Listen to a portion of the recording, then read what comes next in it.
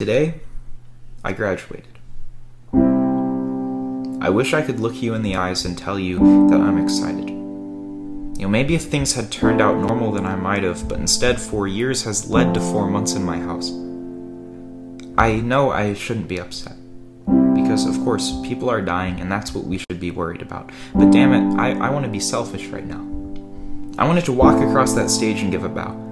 I wanted to celebrate with my friends the fact that we'd come to an end. You know, we worked hard, cried hard, and studied hard for this day. Yet it's ripped away like the same way my heartstrings are torn. What do you want me to say? Do you want me to put on a smile and say we did it? Or can I just admit that I'm upset? And I don't want to repeat myself and sound oversaturated, but hey. At least I graduated.